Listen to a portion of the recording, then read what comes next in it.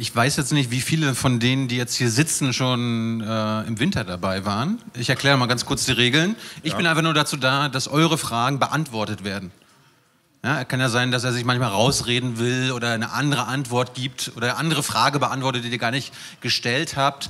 Und die einzige Regel ist, einfach die Fragen beantworten, Jens. Ja. Und wir duzen uns hier, weil mir wurde gesagt, ich kann meine Regeln hier durchsetzen und meine Regeln sind, hier werden alle geduzt. Das ist also nicht Herr Weidmann heute Abend, sondern Jens. Ja, also wenn er Bin ich gespannt, ob der erste Fragende das auch verinnerlicht hat schon, aber genau. wir werden es gleich sehen. Und äh, die Fragen werdet ihr hiermit stellen können. Und ich soll euch darauf hinweisen, dass ihr die Mikros am besten so gut es geht vor den Mund haltet, damit man euch gut versteht. Und die werden euch dann zugeworfen. Also ihr müsst euch eigentlich, äh, eigentlich gleich melden. Ich ähm, werde gleich ein bisschen den Eisbrecher spielen, damit hier keiner von euch die allererste Frage stellen muss. Äh, Jens, bist du krank? Nee, aber äh, meine Stimme ist noch ein bisschen belegt. Insofern äh, alles gut. Du steckst sie nicht an, kannst ganz unbesorgt sein. Gut. Ähm, wir fangen mal damit an. Ich habe ich hab gestern im Internet ein Foto gefunden. Du bist, Foto. du bist ja nicht nur Bundesbankchef, haben wir gerade gehört, sondern auch Teil der EZB. Mhm. Schick, ja. Fällt euch was auf? Doch, eine haben wir schon. die Frage, die offensichtliche Frage ist natürlich, warum tragt ihr keine Krawatten? Nein, ja. warum, warum gibt es nur eine Frau? Na, das musst du die fragen, die die Benennungen vornehmen und nicht äh, mich, der ich sozusagen auch ernannt worden bin. Aber ähm, du siehst, das ist sozusagen ein Kreis, der relativ konservativ ist, diese Notenbank-Zirkel, und wo sich vielleicht auch manche Neuerungen erst langsamer durchsetzen. Aber zumindest ist die Chefin inzwischen eine Frau oder die Präsidentin der, der EZB und das ist doch schon mal ein guter Anfang. Es ist auch nicht ganz so grau, wie es jetzt hier aussieht, wobei zumindest die Krawatten sind weg. Aber äh, wir hatten ja im EZB-Board, das ist also das Leitungsgremium der äh, EZB, bislang auch eine Frau, nämlich Sabine Lautenschläger, eine Deutsche, die dort zunächst mal für die Bankenaufsicht und anderes zuständig war und jetzt äh, das Board verlassen hat. Also es bewegt sich was, aber es dauert manchmal vielleicht ein bisschen länger. Man könnte auch denken, dass vielleicht nur alte weiße Männer Ahnung von Geldpolitik haben. Naja, alte, äh, so alt bin jetzt auch nicht, würde ich sagen. Es gibt welche, die sind älter, sagen wir so. Ja. Aber ohne, ohne, wenn Christine Lagarde es nicht geworden wäre, sondern du, dann wären es nur Männer gewesen. Du, das weißt du nicht. Wer weiß, wir wissen ja nicht, wer sonst noch ernannt worden wäre. Es ist ja ein relativ großer, äh, ein großes Gremium, insofern auch immer wieder Wechsel. Zum Beispiel Benoit Curé, der dort neben mir sitzt, wird jetzt im äh, Dezember das EZB-Board verlassen. Da wird es einen Nachfolger geben oder eine Nachfolgerin, genau, der ist es. Und insofern kann sich da schon noch was tun. Und auch die nationalen Notenbankpräsidenten wechseln ab und zu. Ein bisschen Dynamik ist drin. Bei den Briten weiß ich das, wer am nächsten an Boris Johnson dran ist, hat, hat die besten Karten bei ihm. Heißt das, weil du am weitesten von Lagarde weg bist, bist du der unbeliebteste in der EZB?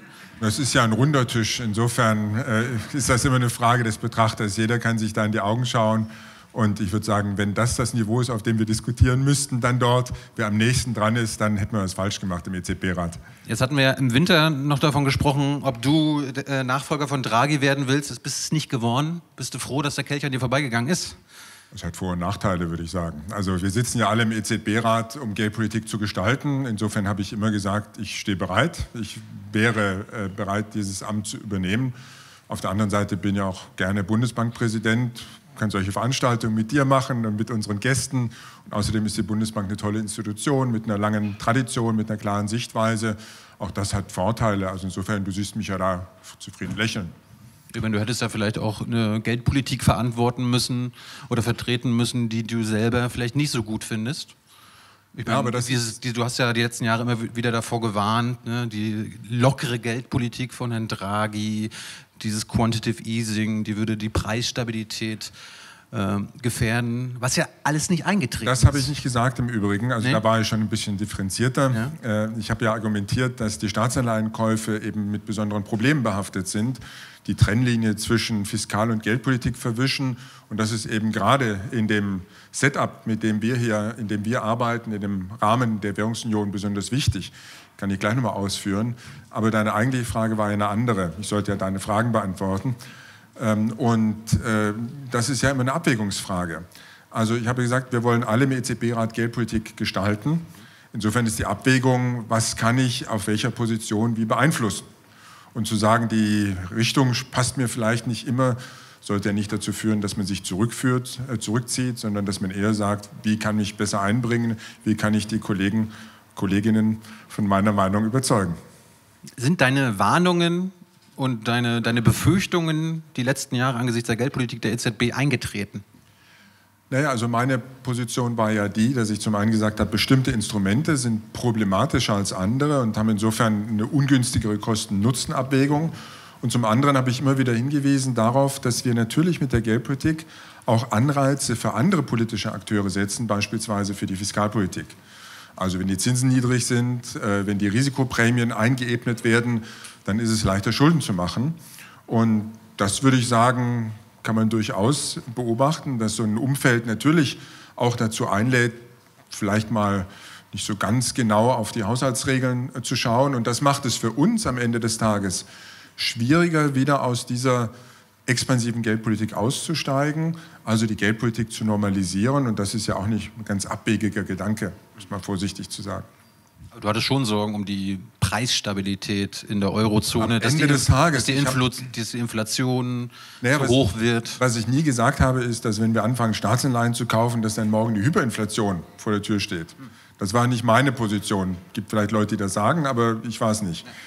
Ähm, was ich gesagt habe, ist, dass es immer schwieriger für uns wird, sozusagen uns aus dieser Umklammerung der Fiskalpolitik zu befreien, dass die Geldpolitik zunehmend politisiert wird und dass das dann langfristig perspektivisch für uns auch schwieriger ist, schwieriger wird, wenn wir mal wieder Entscheidungen treffen müssen, die in die andere Richtung gehen, nämlich beispielsweise die Geldpolitik zu normalisieren. Eine Frage stelle ich noch. Als nächstes seid ihr dran, ihr könnt euch schon melden. Äh, das Inflationsziel in der Eurozone ist ja 2 Prozent. Ja, nicht ganz, aber fast, ja. Wie ist es tatsächlich? Die, was ist die aktuelle Zahl? Naja, was wir gesagt haben ist, wir wollen mittelfristig, das ist auch ganz wichtig, mittelfristig eine Inflationsrate von äh, unter, aber nahe 2 Prozent. Und aktuell sind es 0,7 Prozent. Ja, das ist ja nochmal eine zweite Frage. Also da komme ich gleich darauf zurück. Aber du hast ja erstmal nach dem Ziel gefragt. Ja, ja. Das ist unser Ziel. Das ihr nicht erreicht. Dass wir, naja, es kommt darauf an, welche Perspektive du jetzt einnimmst. Also im Schnitt, Schnitt der letzten Jahre, im Schnitt der, äh, über die Zeit des Euro, liegen wir bei 1,7 Prozent. Das ist jetzt auch nicht weit davon entfernt. Aber das ist ja nicht das, was wir eigentlich wollen. Unser Ziel ist mittelfristig. Mittelfristig deswegen, weil wir natürlich die Vergangenheit, das, was passiert ist, können wir nicht beeinflussen. Also wenn die Inflationsrate heute 1% ist, dann können wir geldpolitisch machen, was wir wollen. Diesen Fakt können wir nicht mehr ändern. Wir setzen die Zinsen beispielsweise, wir haben andere geldpolitische Instrumente und die brauchen eben ihre Zeit, um zu wirken. Und die wirken dann eben in der mittleren Frist. Und deswegen versuchen wir auch nicht die Inflationsrate heute oder morgen zu beeinflussen, sondern in der mittleren Frist. Anderthalb, zwei Jahre, zweieinhalb, das haben wir nie genau spezifiziert, weil die Frage, wie lange unsere Geldpolitik braucht, um zu wirken, eben auch eine Frage der Umstände ist. Also kommen wir gerade aus einer Finanzkrise beispielsweise, befinden wir uns in einer Situation, die ganz außergewöhnlich ist, äh, wo die geldpolitischen Instrumente vielleicht andere sind. Und das müssen wir alles berücksichtigen. Da brauchen wir auch eine gewisse Flexibilität und deswegen mittlere Frist und nicht 18 Monate oder 24. Eine Nachfrage habe ich also trotzdem noch. Wir sind bei 0,7. Wie willst du das dann mittelfristig, die nächsten zwei, drei Jahre, ihr, wie wollt ihr das hinbekommen? Auf nahezu 2 Prozent zu kommen. Das ist ganz nett. Das äh, erlaubt mir jetzt ein bisschen ausführlicher zu antworten weil ähm, es kommt darauf an, was in der mittleren Frist passiert. Und deswegen machen wir Prognosen. Prognosen über die zukünftige Entwicklung von Bruttoinlandsprodukt, von Inflationsrate. Und was wir sehen, ist, dass in diesen Prognosen die Inflationsrate über die Zeit eben auch ansteigt. Das ist genau das, was wir sehen. Also der binnenwirtschaftliche Preisdruck, um so ein bisschen technischer zu werden, das ist ja das, was wir eigentlich wollen. Wir wollen ja nicht auf kurzfristige Schwankungen reagieren, auf, auf, auf letztlich Veränderungen, die auf Energiepreise beispielsweise zurückgehen. Da wollen wir hindurchschauen, weil das sind meistens nur kurzfristige Einflüsse und deswegen die mittlere Frist.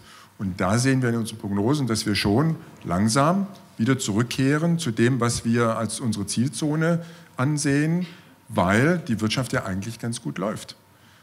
Wir können jetzt darüber diskutieren, wie die Zukunftsperspektiven sind, wie hoch die Unsicherheit im Moment ist. Aber wir haben beispielsweise in Deutschland auch eine Situation deren konjunkturellen Normalauslastung. Wir sind vielleicht sogar eher in einem Bereich, wo in manchen Segmenten schon Überhitzungserscheinungen zu sehen sind. Ja, gerade der Arbeitsmarkt läuft relativ gut. Das ist also keine konjunkturelle Krise, sondern eine Situation, in der eigentlich perspektivisch die Preise auch wieder anziehen. Und genau das sehen wir in unseren Prognosen. Bin ich sicher, ob ihr das verstanden habt, aber ich habe nicht verstanden, wie, doch, du, jetzt, wie du jetzt mittelfristig die, das Inflationsziel erreichen willst. Na doch, ich habe also mittelfristig wollen wir es erreichen. Wie? Wir prognostizieren, also indem die Geldpolitik sehr expansiv ist. Das ist ja schon mal die Grundvoraussetzung. Da bist du ja dagegen. Nee, ich bin nicht gegen eine expansive Geldpolitik. Ich bin, das hatte ich ja versucht zu differenzieren, gegen bestimmte, ich sehe bestimmte Instrumente kritisch. Äh, und da denke ich, muss man auch die Kosten-Nutzen-Analyse anschauen. Ich habe nicht gesagt, dass wir immer eine gleiche restriktive Geldpolitik fahren müssen. Das wäre ja nicht sehr klug. Ja. Also insofern expansiv ist schon okay. Nur wir müssen abwägen, welche Instrumente und wir müssen auch schauen, wie expansiv muss die Geldpolitik denn sein. Die ist aber expansiv, die Konjunktur läuft gut und das führt dazu, dass über die Zeit dann auch der Preisdruck wieder zunimmt. Vielleicht habt ihr ja gleich Fragen zu diesen Instrumenten, zu denen du jetzt nicht näher was sagen willst. Aber wir fangen wir mal an. ja auch noch mal ein paar Fragen. Ja, genau. Jetzt fangen wir mal an. Äh, magst du kurz aufstehen, äh, nah an, an den Mund halten und kurz dich hallo? vorstellen? Ja, hi. Äh, hallo Jens, äh, eine hallo? Frage von mir. Wie ähm, heißt du denn? Sydney. Mhm. Das ist wie die Stadt. ähm, die deutsche Politik steht in Europa ähm, im Ruf, ähm, einer Vergemeinschaftung von äh, Haftungsrisiken entgegenzustehen. Ähm, Beispiel Einlagensicherung. Ähm, die wird von vielen europäischen Ländern gefordert, also eine gemeinsame europäische Einlagensicherung. Ähm, wie siehst du sie persönlich? Ich, und, du persönlich? Äh, also, ja. bist du ein Pro, Contra? Und ähm, Findest du den Ruf der deutschen Politik gerechtfertigt? Also nicht ganz im Allgemeinen, sondern jetzt nur speziell auf die Einlagensicherung, äh, den Ruf der Politik. Also auch die Frage ist ja insofern ein bisschen komplexer, als ich glaube, die meisten, dazu gehören wir in der Bundesbank auch, konzidieren würden, zugeben würden, dass eine Einlagensicherung, eine europäische, ja, in der Lage wäre, die Finanzstabilität positiv zu beeinflussen. Ja, also insofern ist eine gemeinsame Einlagensicherung per se nichts Schlechtes. Die Frage ist nur, wie machen wir es richtig, damit am Ende des Tages die Anreize zu, einer vernünftigen, zu einem vernünftigen Verhalten der Banken auch noch erhalten werden. Und zu einem vernünftigen Verhalten der Staaten nebenbei auch. Das ist eigentlich die Frage. Und deswegen geht es meines Erachtens weniger um die Frage Einlagensicherung gemeinsame Ja oder Nein, sondern wenn du das Papier liest, das beispielsweise der Finanzminister vor kurzem veröffentlicht hat in der FT, dann siehst du da auch, dass er sagt, ja, das ist im Prinzip ein richtiger Schritt, aber es müssen bestimmte Voraussetzungen erfüllt sein. Eine Einlagensicherung ist ja so eine Art Versicherung. Und bei einer Versicherung kannst du normalerweise nicht Risiken versichern, die sie schon realisiert haben. Also wenn du dein Auto gegen die Wand fährst und dann zur Versicherung gehst und sagst, ich würde gerne eine abschließen, dann sagen die, für diesmal noch nicht, aber beim nächsten Mal geht's. So. Und deswegen geht es zum Beispiel darum, dass wir Altrisiken in den Bankbilanzen, also diese sogenannten Non-Performing Loans, Kredite, die nicht gut laufen, die ausfallgefährdet sind, dass man die erstmal reduziert, bevor man dann gemeinschaftlich dafür einsteht. Aus meiner Sicht ist auch noch ein ganz wichtiger Punkt, dass wir verabreden, wie wir mit staatlichen Risiken in Bankbilanzen umgehen. Was wir in der Krise gesehen haben, ist, dass sich Banken und Staaten aneinander geklammert haben und sich gegenseitig in die Tiefe gezogen haben. Staaten, die nicht solide aufgestellt waren, die dann dafür gesorgt haben, dass ihre Banken immer mehr Kredite an den Staat gegeben haben, Anleihen gekauft haben und äh, Banken, die im Grunde gesagt haben, naja, wir sind so eng verbunden, wir können eigentlich, wenn wir dem Staat jetzt helfen, dann hilft das uns auch. Ähm, und die haben sich also geklammert. Und das ist eigentlich auch was, was du nicht haben möchtest in der Zukunft. Ähm, wir haben ja äh, das, die Besonderheit, dass staatliche Risiken in den Bankbilanzen zum Beispiel nicht mit Eigenkapital unterlegt werden müssen. Wenn die Bank dir einen Kredit gibt, dann muss sie dafür Eigenkapital zurückgeben, zurücklegen. Wenn die Bank dem Staat einen Kredit gibt, muss sie das nicht tun. Und das ist eine Privilegierung, die aus meiner Sicht nicht gerechtfertigt ist und die zu Verzerrungen führt, die eben zu dieser Verbindung führt und die sollte man auch durchtrennen. Also insofern ja, aber eben unter bestimmten Bedingungen oder richtig gemacht. Hast du, hast, bist du zufrieden mit der Antwort? Hast du eine Nachfrage, Sidney? Ja, die Frage, die ich nicht beantwortet habe, ist die zur, äh, ob ich äh, die, wie hast du gesagt, die Reputation oder die, die Wahrnehmung der deutschen Politik für richtig halte. Also wie gesagt, ich glaube, auf der einen Seite ist die Position teilweise konstruktiver, als sie scheint, weil die Positionen auf der anderen Seite des Verhandlungstisches sind ja auch manchmal relativ hart. Also wenn man sagt, ich möchte eine Einlagensicherung, aber ich möchte mit euch überhaupt nicht darüber sprechen, wie wir staatliche Risiken in den Bankbilanzen behandeln, dann ist es auch eine Position, die dazu beiträgt, dass man keine Lösung findet. Und insofern müssen die am Ende des Tages alle aufeinander zubewegen. Zufrieden, Sidney? Ja, sehr. Danke. Gut. Danke. Da vorne ist unsere. Schmeiß, schmeiß auf die anderen und nicht auf mich, dann. Ja, am besten, am besten dahin, wo. Wow. Ah, wir haben schon. Ja? Also ein Mikro reicht, glaube ich, aber ihr könnt das gerne weiter, weiterleiten. Ja, guck mal, da ist jemand. Magst du dich kurz vorstellen? Ja. Hi, ich bin Arusha, also wie die Stadt in Tansania, Arusha, aber mit L. Bin ich gespannt, wie der nächste heißt. Genau. Ähm, ich würde gerne Bezug darauf nehmen, was du vorher schon gesagt hast, Jens. Ähm, du hast ja gesagt, dass die Zentralbank gerade ähm, höhere Preise prognostiziert. Ich bin jetzt ein bisschen überrascht, weil ich in letzter Zeit viele kritische Stimmen gehört habe, dass wir gerade auf eine Krise zusteuern und mit einer Krise verbinde ich eher niedrige äh, Preise und da frage ich mich, inwiefern wir dann trotzdem realistisch, also wenn wir jetzt auf eine Krise zusteuern, ähm, das Inflationsziel noch erreichen könnten und auch, also das ist die erste Frage und die zweite dann, ähm, was könnte man ähm, geldpolitisch noch machen, um praktisch einen Gegenhebel zu einer Krise zu haben? Genau. Also zum einen kann natürlich immer viel passieren. Die Wirtschaft kann sich viel schlechter entwickeln, als wir erwarten. Sie kann sich aber auch viel besser entwickeln. Und insofern müssen wir eigentlich unser Handeln auf die sogenannte Basislinie konditionieren. Das heißt, das wahrscheinlichste Szenario ist immer das Szenario, was geldpolitisch dann leitend ist. Ähm, und dieses wahrscheinlichste Szenario, die Basislinie unserer Prognose, die sieht eigentlich gar nicht so schlecht aus. Die zeigt zwar auf der einen Seite jetzt dieses Jahr und nächstes Jahr eine gewisse Delle, wenn man so möchte, eine konjunkturelle, aber dann anschließend auch wieder eine Erholung. Die Delle hängt viel mit den, ich würde mal sagen, außenwirtschaftlichen Bremsfaktoren zusammen, die hohe politische Unsicherheit, der Handelsstreit mit, zwischen den USA beispielsweise und China, geopolitische Spannungen. All das führt dazu, dass äh, die Unsicherheit steigt. Und unter Unsicherheit sind natürlich Investitionen auch viel schwerer zu tätigen beispielsweise. Und das ist einer der Effekte, den man auch beobachten kann. Das ist das eine. Aber wir gehen eigentlich wie alle anderen davon aus, dass diese, dieser Gegenwind langsam nachlässt und dann die eigentlich intakten Antriebsfaktoren sich auch wieder durchsetzen werden und die Wirtschaft dann wieder an Schwung gewinnt. Also die Fiskalpolitik ist leicht expansiv ausgerichtet, beispielsweise im Euroraum. Die Geldpolitik ist sehr expansiv und das wird dann auch irgendwann wieder Wirkung zeigen.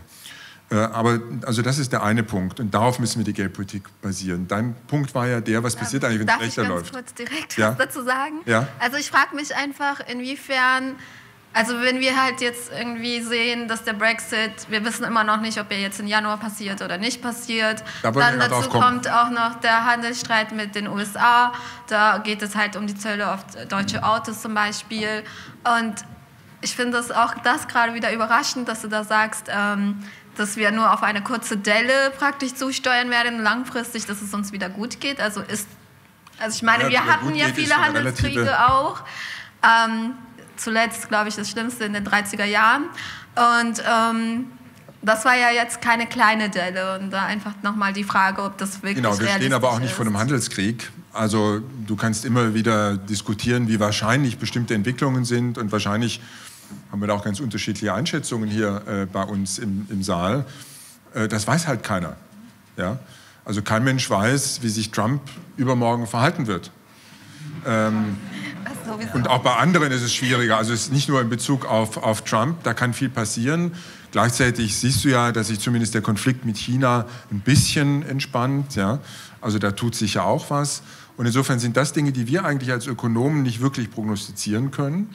Wir wissen auch nicht, wie ist denn die, die, die politische Entwicklung in manchen Ländern im Euroraum morgen, welche Gesetze erlassen die. Und da kann man jetzt sich alles Mögliche ausdenken. Ähm, äh, und deswegen versuchen wir da möglichst konservativ zu sein und eben nicht einfach mal zu raten. Ähm, und unter diesen Prämissen, die wir dann annehmen, auch in Bezug auf die Ölpreisentwicklung, in Bezug auf die Wechselkursentwicklung, da gibt es dann ein bestimmtes Basisszenario. Aber natürlich hast du recht, das kann sich auch ganz anders entwickeln. Und für, die, für, für, für diese Situation stellt sich dann die Frage, die du am Schluss aufgeworfen hast, was machen wir denn dann?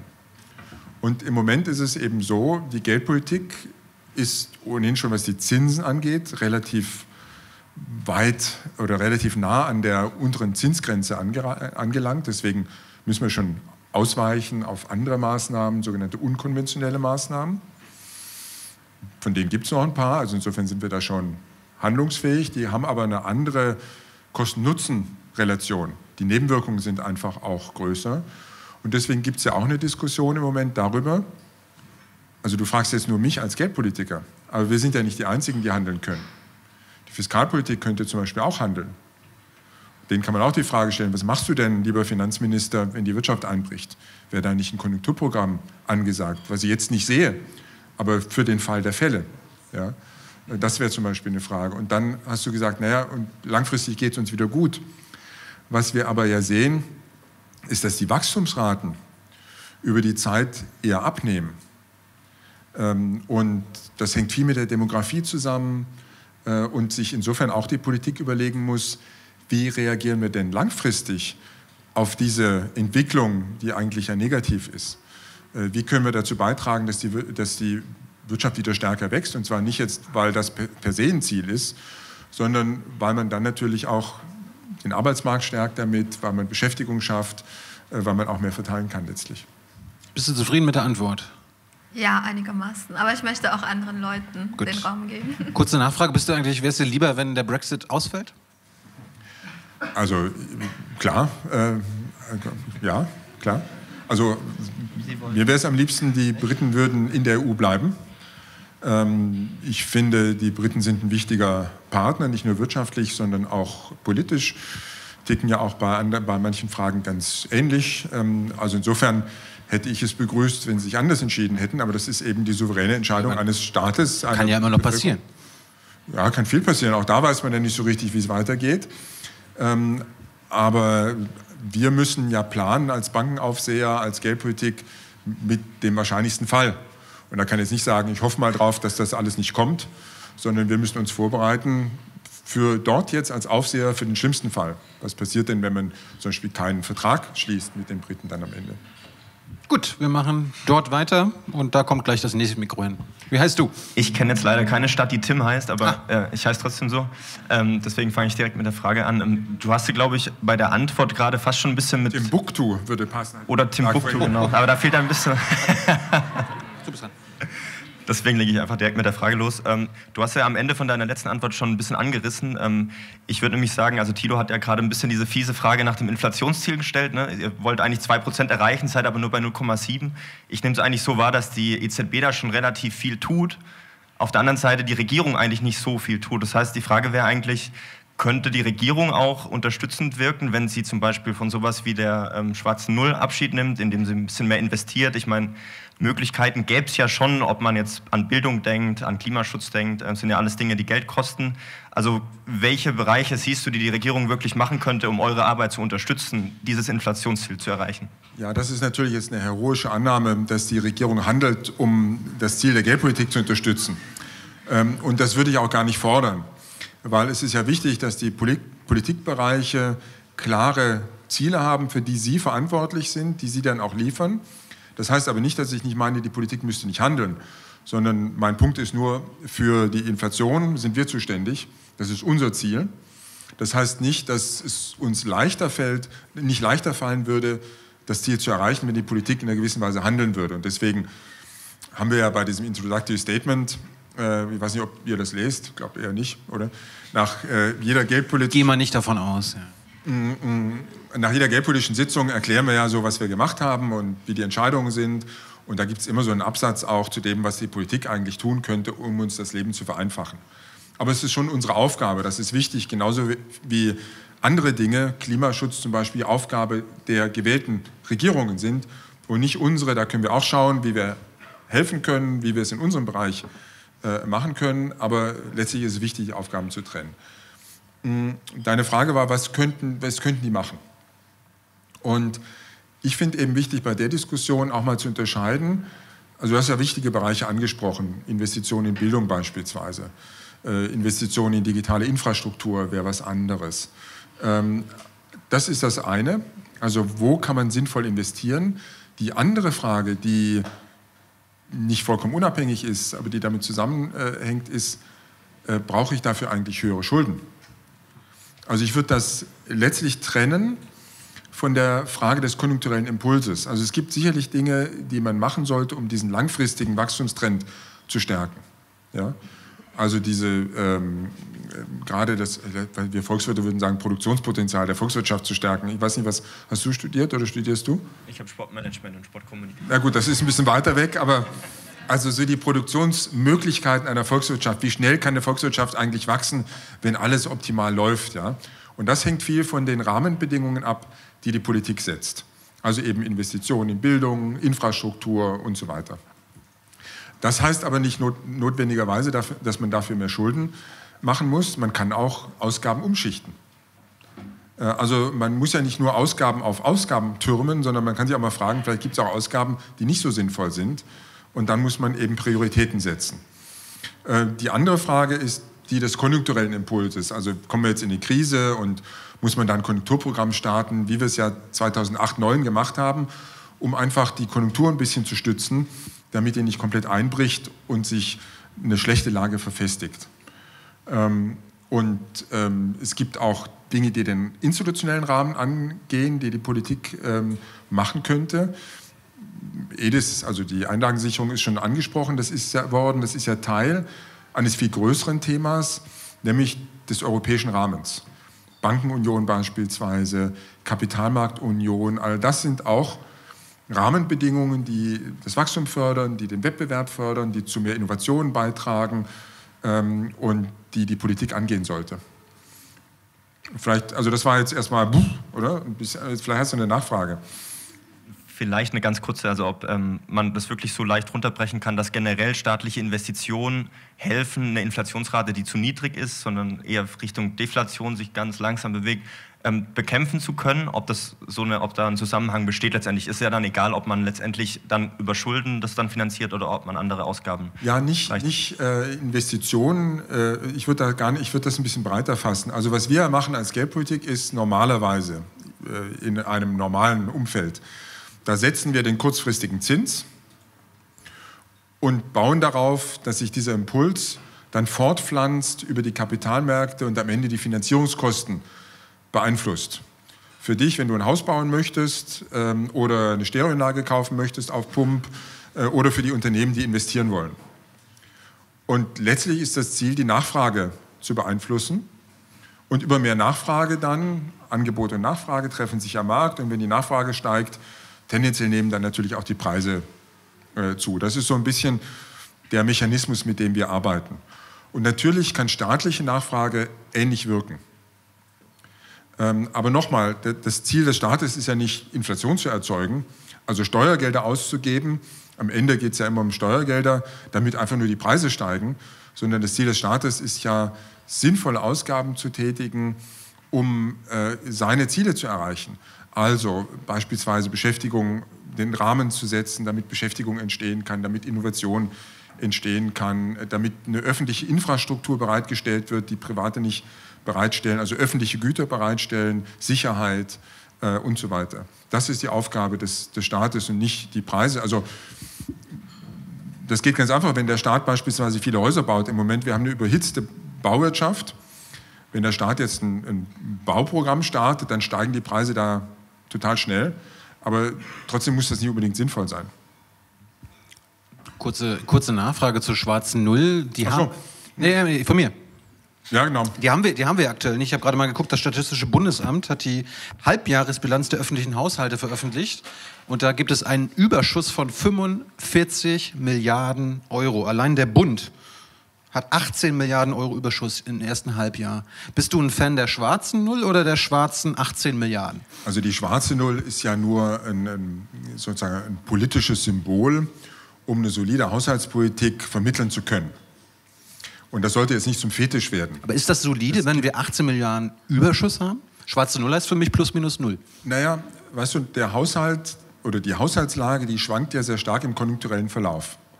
Also, wenn du eine Krise hast und du hast dann 18 Milliarden Überschuss oder 40 Milliarden oder, oder was auch immer, dann würde ich mich als Finanzminister schon fragen, ob ich das falsch gemacht habe. Wenn aber alles gut läuft, die Einnahmen sprudeln, weil die Wirtschaft gut läuft, ja, dann ist das eigentlich eine Situation, wo der Haushalt ja besser aufgestellt sein sollte als im, im Schnitt. Und deswegen schauen wir Ökonomen, du bist ja nach der zweiten Veranstaltung auch schon fast einer, äh, eigentlich nicht auf die unbereinigten Haushaltssalden. Also wir schauen uns nicht an, wie viele Milliarden stehen da und wie viel Prozent des BIP sind das, sondern wir schauen uns an, wie das aussieht, wenn man um den konjunkturellen Einfluss bereinigt. Also wir versuchen rauszurechnen, welcher Einfluss durch die Konjunktur erzeugt wird. Wie gesagt, wenn die Wirtschaft brummt, dann hat der Finanzminister auch volle Kassen. Ist ganz normal. Wenn die Wirtschaft einbricht, dann, äh, das ist ja Teil auch der automatischen Stabilisatoren. Und das muss man eigentlich rausrechnen, um so ein bisschen ein Gefühl zu kriegen, wie expansiv die Haushaltspolitik eigentlich ist. Und was wir jetzt sehen, ist, dass der haushaltspolitische Kurs, auch der Bundesregierung, durchaus der Bundesregierung durchaus gelockert worden ist, trotz dieser Zahlen, die du genannt hast, wenn man auf diese strukturelle Entwicklung schaut. Was man auch sieht, wenn man äh, die Entwicklung mit den Haushaltsregeln in Zusammenhang stellt, dass es durchaus noch gewisse Spielräume gibt, die man nutzen könnte. So. Also ich verstehe jetzt, dass du es nicht schlimm findest, dass wir 18 Milliarden Überschuss im ersten Halbjahr erwirtschaftet haben. Naja, der Punkt ist, du musst ein bisschen hinter die eine Zahl schauen. Und dann kann man sich auch ein besseres Urteil bilden. Das wäre mein Punkt. Gut. Dort geht es weiter und ich gebe es dann gleich weiter an. So, ja, ich habe sogar auch einen Namen, der eine Stadt in Australien ist, wie oh. ich mal durch eine Google-Suche nachts herausgefunden habe. Es ist nur ein kleines Kaffee heißt Robina, Robin die Robin Hood mit A hinten dran. Ähm, ich habe zwei Fragen, eine etwas spezifischere und eine etwas generellere. Die spezifischere zuerst. Ähm, es gibt ja die sogenannte MMT, also Modern Monetary äh, Theory von Stephanie Carlton. Stephanie Carlton habe ich äh, kürzlich live erlebt und sie sagte dann, ja, also kurz ihre Grundtheorie ist so im Prinzip, Verschuldung schafft nicht zwangsläufig eine höhere Inflation, wie man am Beispiel von Japan sieht. Und sie sagte dann, ähm, ja, im Prinzip wäre das in Europa auch gut durchsetzbar, da sind aber die nationalen Notenbanken gefordert. Jetzt hätte ich gerne mal Ihre, äh, deine Einschätzung dazu. Ja. Also Modern, Modern, Monetary Theory ist ja im Grunde folgendes, man stellt die Notenbank in den Dienst der Fiskalpolitik und letztlich bestimmt die Fiskalpolitik die Preise dann in dieser Theorie. Äh, das nennt man auch fiskalische Dominanz als Fachbegriff und das, Gegen, das Gegenmodell ist das, was wir im Moment haben. Ja? Das heißt nichts anderes, als dass der Finanzminister Ausgaben tätigt und statt dass er sich am Kapitalmarkt dass er sich am Kapitalmarkt verschulden muss und die disziplinierende Wirkung des Kapitalmarkts greift, oder dass er letztlich ins Parlament gehen muss, um Steuern zu erhöhen, um das zu finanzieren, geht er einfach zur Notenbank und die schreibt ihm einen Scheck. Das ist ein Modell, das ist nicht so fern von dem, was manche Länder hier schon hatten. Und wir haben uns ganz bewusst aus den eher negativen Erfahrungen für ein anderes Modell entschieden. Also, dass die Notenbank Schulden finanziert, also letztlich ist die Notenbank dann nicht mehr unabhängig, sondern sie ist abhängig und sie stellt sich voll und ganz in den Dienst der Fiskalpolitik. Und das heißt, die Notenbank druckt halt Geld, wenn der Finanzminister es braucht. Und die Vorstellung, dass das irgendwo kontrollierbar ist, die ist zumindest in der Realität jetzt nicht unbedingt empirisch wirklich gut fundiert, um es mal vorsichtig äh, auszudrücken. Ähm, also wir hatten eine Situation in Italien, zu den Zeiten der äh, Allianz, der Banca d'Italia mit dem Fiskus, wo dort auch nicht ganz so extremes Regime herrschte. Das war jetzt nicht sehr äh, erfolgsversprechend beispielsweise. Ähm, und auch in anderen Ländern kannst du das beobachten. Und deswegen konntest du das beobachten. Deswegen haben wir uns ganz bewusst entschieden, wir machen die Notenbank unabhängig. weil wir gelernt haben, dass man Wirtschaftswachstum bei stabilen Preisen haben kann. Und ähm, insofern wäre das jetzt nicht der Weg, den ich empfehlen würde. Glaubst du, glaubst du auch, dass es... Ähm also übrigens schon Goethe, also das ist auch nichts Neues. Du kannst auch Goethe lesen. Wir sind ja in Frankfurt. Du kannst Goethe lesen. Der hat ja, war ja Finanzminister und hat im Grunde Geldschöpfung beschrieben zur Befriedigung äh, der, äh, äh, der Ausgaben sozusagen des Staates und hat dann auch schon beschrieben, was dann so kommt. Der Punkt ist ja, dass sich die, also was äh, Kelton sagt, sagt nicht, das ist meine Meinung, ich sage nur das, was sie gesagt hat, ist, dass die Wirtschaft sich so verändert hat durch Digitalisierung und Co. Ähm, glaubst du, dass es eine solche, dass eine Veränderung so weit gehen kann, dass sowas mal ähm, in, den nächsten Dekade, in der nächsten Dekade relevant wird? Also ich glaube, dass sich die Wirtschaft verändert hat in einer sehr komplexen Art und Weise, die wir auch noch nicht vollständig verstehen und dass wir als Notenbank darauf reagieren müssen in unsere Unabhängigkeit. Also nimm Globalisierung, Digitalisierung. Ich glaube, einige von euch haben das ja auch in diesem Workshop schon diskutiert zum Inflationsziel. Natürlich hat Digitalisierung Einfluss auf das Preissetzungsverhalten oder die Preissetzungsmöglichkeiten der Unternehmen. Da müsst ihr nur an euer eigenes Konsumentenverhalten denken. Ihr geht auf eine Internetplattform und ihr seht plötzlich zehn Anbieter, die können in Frankreich sitzen, in Spanien, in Deutschland oder gleich in China. Und ihr seht die Preise und ihr kauft am billigsten. Und das war früher anders. Da bist du zum Händler um die Ecke gegangen und wenn der das hatte, dann hast du es gekauft. Äh, und zur Not bist du noch in die große Stadt gefahren, aber das war auch schon aufwendig. Also diese Preistransparenz, die das Internet äh, darstellen kann, die führt natürlich zu einem relativ starken Preisdruck und wirkt insofern auch Margen komprimierend bei den Unternehmen. Die haben jetzt weniger Preissetzungsmacht. Auf der anderen Seite sehen wir aber auch, dass digitale Plattformen ja sehr starke Netzwerkeffekte haben. Also diese digitale Ökonomie, wenn du so möchtest, die neigt zu Superstar-Firmen. Firmen, die eben sehr dominant sind äh, wiederum. Also die Händler, die dort sich versammeln, haben wenig Preissetzungsmacht. Die großen Firmen, die du kaum noch vermeiden kannst im Internet, die haben jetzt plötzlich doch wieder stärkere Preissetzungsmacht. Und was wir empirisch sehen in den Studien, die ich jetzt kenne, ist, das sind ja zwei Effekte, die in unterschiedliche Richtungen gehen. Das eine wirkt preisdämpfend, das andere eher preiserhöhend in unterschiedlichen Bereichen.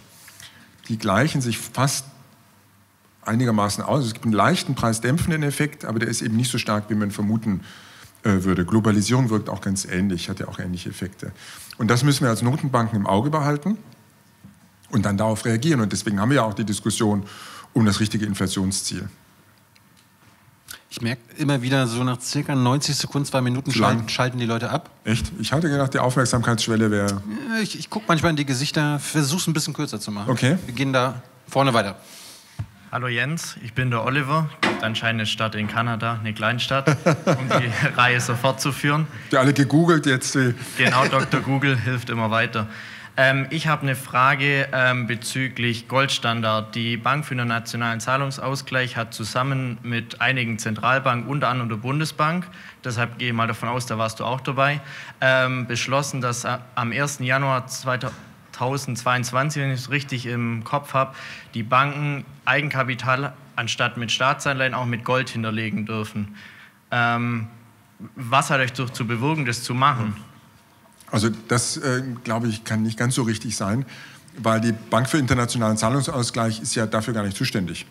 Äh, das wäre, wenn dann der Basler Ausschuss, der trifft sich zwar auch in Basel, ähm, aber ähm, die Diskussion, die wir, äh, also insofern sagt mir das jetzt erstmal äh, nichts, was die Bank für internationalen Zahlungen, ich bin ja auch noch der Verwaltungsratsvorsitzende der Bank für internationalen Zahlungsausgleich, ähm, ähm, also äh, hätte ich mitbekommen, wenn wir da was beschlossen hätten. Ähm, aber dein Punkt ist ja vielleicht ein, ein anderer noch. Ähm, ganz allgemein gefasst wahrscheinlich. Die Rolle von Gold im Währungssystem oder von, oder was? Ja, ja. genau. Also ich bin mir eigentlich ziemlich sicher, dass dass da in, in einer, also ich habe das in der Zeitung auf jeden Fall gelesen. Du kannst es ja nochmal googeln und nochmal rankommen. Ja. Wie wär's? Ja, das machen wir. Gut, dann machen wir hier weiter. Genau, dann googelst du nochmal nicht nur nach den Städten, sondern auch nach dem Gold. Gut. Hallo Jens, mein Name ist Ann-Sophie. Hallo Jens. Ähm, ich habe eine Frage und zwar der Bundesverband Deutscher Banken, auch der Sparkassenverband und der Volksbankenverband hat ganz scharf das Basel III Reformpaket kritisiert. Ähm, was passiert jetzt seitens der Bundesbank? Nehmt ihr das wahr und setzt es dann auch in den Capitals ähm, entsprechend um oder wiegt ihr dort mit oder was passiert da jetzt genau? Also ich glaube, inzwischen haben sie sich damit abgefunden, ehrlich gesagt. Also wir stehen ja vor einer schwierigen Aufgabe. Wir haben die Aufgabe, das Finanzsystem sicherer zu machen. Und in der letzten Finanzkrise haben wir gesehen, dass die Banken zu wenig Eigenkapital vorgehalten haben. Und dass sich eben Verluste dann sehr schnell so ausweiten können, dass die Bank in Schieflage gerät, wieder andere Banken mitreißen kann. Und das ist ja die Besonderheit im Bankensystem, diese systemische Natur der Probleme, also dass die Probleme eben sehr schnell ausweiten zu äh, einer Dimension, die dann die Funktionsfähigkeit des gesamten Finanzsystems in Frage stellt. So. Deswegen haben wir uns zusammengesetzt nach der Krise und haben gesagt, wir müssen die richtigen Lehren aus der Krise ziehen. Und dazu gehörte unter anderem, dass die Banken mehr und auch qualitativ hochwertiges Eigenkapital vorhalten müssen. müssen. Das sind die Basel III-Regeln, die, du, äh, die du erwähnt hast. Auf der anderen Seite sind das natürlich Kosten für die Banken. Die Banken müssen sich das Kapital besorgen, das kostet was und das ist insofern dann eine Abwägung, die wir vornehmen müssen. Die Kosten, die die Banken zu tragen haben und das können auch Kosten sein, beispielsweise in Bezug auf die Kreditvergabemöglichkeiten, die Banken haben. Also insofern kann sich das durchaus auch äh, makroökonomisch auswirken, müssen wir abwägen gegen die Kosten der nächsten Krise. Und die waren sehr hoch, haben wir alle gemeinschaftlich gesehen. Und da sind wir zu der Auffassung gekommen, dass Basel III ein ganz guter, äh, letztlich ein gutes Ergebnis dieser, äh, dieser Beratungen war. Und ich glaube nicht, dass die Banken das äh, grundsätzlich in Frage stellen. Klar, dass wenn ich dich reguliere und dir Auflagen mache, dann gefällt dir das nicht. Äh, aber wir müssen uns ja nicht fragen, ob die Banken glücklich sind, sondern wir müssen uns fragen, funktioniert das Finanzsystem und ist es für die nächste Krise besser gewappnet? Und das ist dann die Abwägung. Äh, und im Übrigen ist es so, natürlich ist keine Regulierung von Anfang an immer sofort perfekt. Also dass man nochmal hingeht und sich nochmal was anschaut und, und nochmal diskutiert, ob man es besser machen kann, ist auch selbstverständlich. Das ist ja nicht für die nächsten 100 Jahre in Stein gemeißelt. Aber im Großen und Ganzen passt das. Ja, ich glaube, da ist noch was. Ich durfte ja nur 90 Sekunden.